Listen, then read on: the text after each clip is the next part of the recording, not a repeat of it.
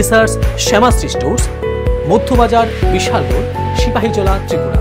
Phone number nine eight six two three one nine five three আবারও পণের দাবিতে শ্বশুরবাড়ির অমানসিক অত্যাচারে প্রাণ হারালো পূজা দাস নামে এক গৃহবধূ। ঘটনা উদয়পুরের পালাটানায়। ঘটনাকে ঘিরে শোকের ছায়া নেমে এসেছে গোটা এলাকায়। গত দেড় বছর আগে মৃত বিশ্বজিৎ দাসের মেয়ে পূজা দাসের সঙ্গে বিয়ে হয় সুনীল দাসের ছেলে শুভঙ্কর দাসের। প্রথমে নিজেদের পছন্দ পরবর্তী সময়ে সামাজিকভাবে বিয়ে দেয় পরিবারের লোকজন। বিয়ের সময় ছেলের এবং তার বাড়ির লোকজনদের যা যা দাবি দেওয়া ছিল সবই মিটিয়ে দেওয়া হয়েছে। বিয়ের কয়েক মাস ভালোই চলছিল সংসার। তারপর থেকেই শুরু হয় পূজা দাসের উপর অমানবিক অত্যাচার। পূজার স্বামী পেশায় গাড়ি চালক।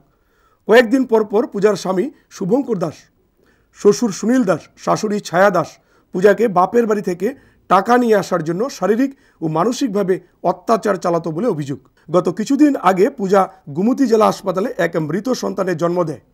এরপর থেকেই পূজার উপর অত্যাচার চালাতো আরও বেশি করে পূজার শ্বশুরবাড়ির লোকজন। যার পরিণত রবিবার রাত প্রায় দেড়টায় পূজার বাপের বাড়ি জুয়ালি খামার বাড়িতে খবর দেওয়া হয় যে মেয়ে পূজা খুবই অসুস্থ অবস্থায় গুমতি জেলা হাসপাতালে ভর্তি। গভীর রাত্রি পূজার মা সোমারানী দাস রাত্রিতেই জেলা হাসপাতালে আসে।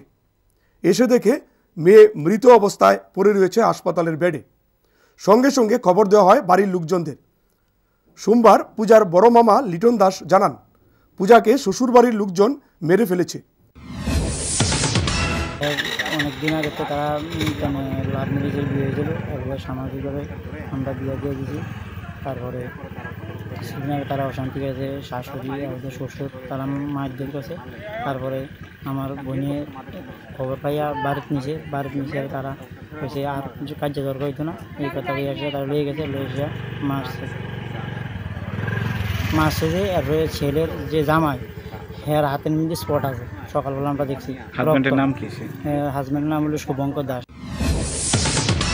এদিকে সোমবার ময়নাতদন্তের পর মরদেহ পরিবারের হাতে তুলে দেওয়া হয়েছে। এদিকে মেয়ের বাড়ির তরফ থেকে উদয়পুর মহিলা থানায় একটি মামলা দায়ের করা হয়। ছেলের বাড়ি পালাটানাতে গিয়ে পুলিশ শুভঙ্করকে আটক করে। এই ঘটনায় শোকের ছায়া নেমে এসেছে গোটা এলাকায়। Bureau report, news media city.